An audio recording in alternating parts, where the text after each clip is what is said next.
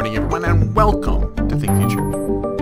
Once again, we're coming at you live from deep, deep, deep in the heart of Silicon Valley, California. We're talking innovation. No, we're not talking innovation. That's right, folks. We are no longer talking innovation. We're talking AI, startups, and the future. If you're watching on YouTube, smack that subscribe button and hit that bell as you can be notified when a new show comes online. And if you're listening on your favorite podcast service, please subscribe and please drop a note in Apple Podcasts. I greatly, greatly appreciate it. Why the change, you say? Well, I've been finding over the last little while that pretty much all we ever talk about is AI. Is AI. And I have a newsletter from my Ideate and Execute group where I send out a newsletter to about 9,000 people every week. And in this newsletter that I send out to about 9,000 people every week, I have links to hot items that this group might be interested in. And this group is typically corporate innovators, startup founders, people who are interested in the future. So people who I've talked to before in the past. And I usually put in news items on innovation startups in the future. So I have an agent which goes out there and looks for innovation news, AI news, startup news, future news, etc., etc., etc.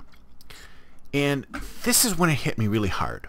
It hit me really hard when I looked at the result of the innovation news. It was terrible. It was absolutely terrible. There's literally nothing going on in the innovation space.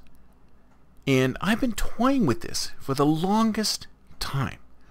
I've been playing with this for the longest time. I've been not wanting to let go of innovation for the longest time, even though people have said to me, innovation is done. Innovation is over. Innovation is finished. As a matter of fact, let me get rid of this. This was a book I wrote on innovation, Innovation Mastery. Definitive guide to entering your ultimate innovation career. I'm getting rid of it. It's gone, my friends. I'm kicking innovation to the curb. That's right, folks. Innovation is dead, as far as I'm concerned. So what are we going to replace it with? We're going to replace it with AI and startups and the future. That's right. AI is now more interesting than innovation. Way more interesting. Even though innovation is part of AI, AI is way more interesting. So you know what? We're going to talk about AI. We've been talking about AI for the longest time, so now I am officially pivoting the show to AI, startups, and the future. That's right, folks. Innovation has been kicked to the curb. So let's talk about AI. Over the last little while, tons of things have happened with AI. Tons of things. And one of the most interesting things that have occurred is where Elon Musk wants to take AI. And he's teased a bunch of times talking about something like truth AI or AI that is not woke, AI that is that is maximally curious. Now I love that term, maximally curious. Because what maximally curious says to me is that that's what we should be like. We human beings should be maximally curious. And you're probably thinking to yourself, what is maximally curious? Well, I'll tell you what maximally curious is. It's the same thing as I talk about with the do-its and the should-we's, right? Maximally curious AI is AI that will not say no to anything. It's kind of like say yes to everything.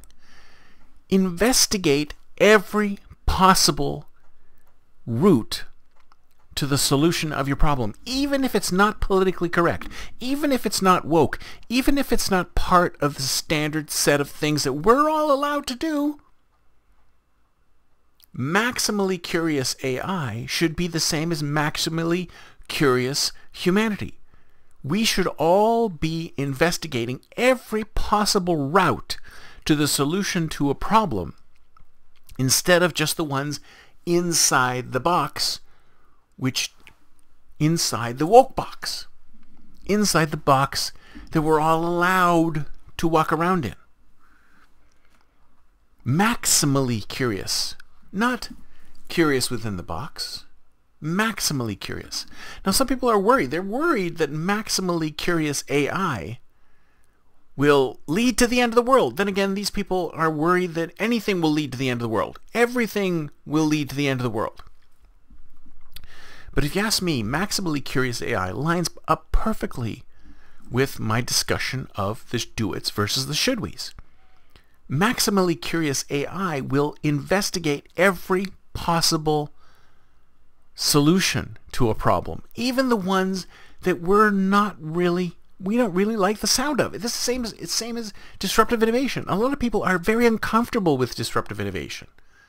They don't like things that are outside of the box, too far outside of the box. And that's the thing that maximally curious AI will do. It will find things that are outside of the box and present us with those things. They don't necessarily need to implement those things, but they will present us with these things, these ideas that are so far out there and be so against the status quo because that's where we need to go. We need to go against the status quo to really get to the solutions because we've tried the status quo for the longest time and we do not get the solutions when we maintain the status quo. We need to go beyond that.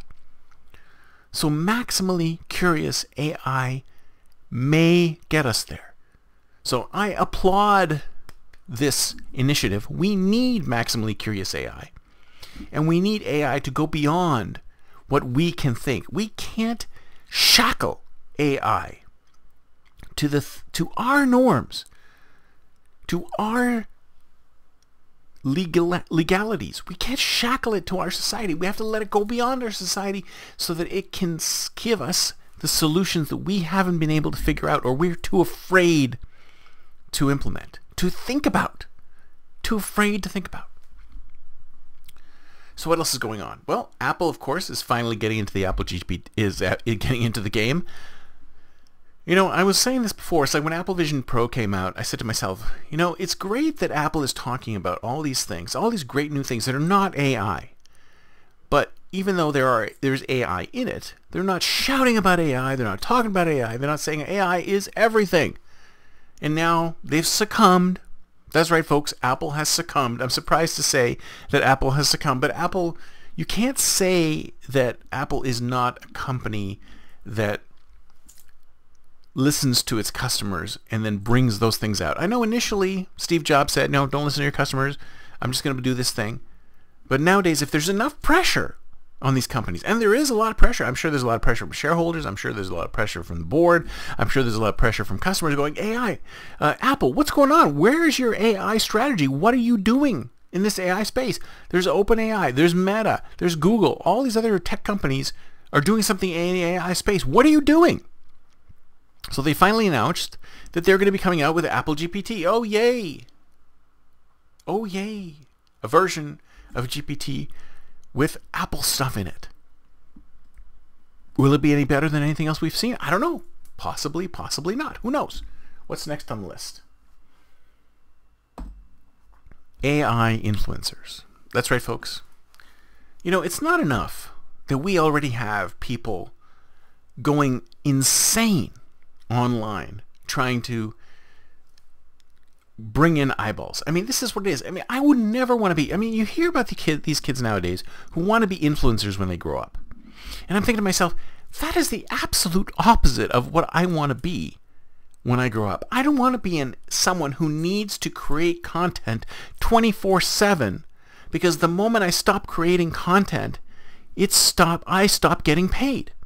And if you think about it, this is all the way back to the whole rich dad poor dad concept where the rich dad created passive income through all these old school methodologies like rental or dividend stocks. But nowadays we have new school passive income methodologies which are out there, but this is not any of them. See what being an A an influencer is. An influencer is being out there 24-7 generating content. Because the moment you stop generating content, people forget about you. That's it. You're done. You're out the door. And it's way worse than, say, being an actor or a musician in the world because you have to constantly be creating content. Once you stop creating content, you are forgotten about. So what's going to happen? What is happening is that AI influencers are being created to generate const- content constantly. So even those people who aspire to become YouTube influencers are going to be cut out by these AI influencers. So if you think about it, that's one of those things that will eventually disappear. See, this is one of the things I talk about. I talk about this with jobs, is that one of the problems with AI is that people feel that jobs will disappear with AI. And I've said this before, and I'll say it again. Yes, jobs will disappear with AI. That's absolutely true. That is definitely going to happen.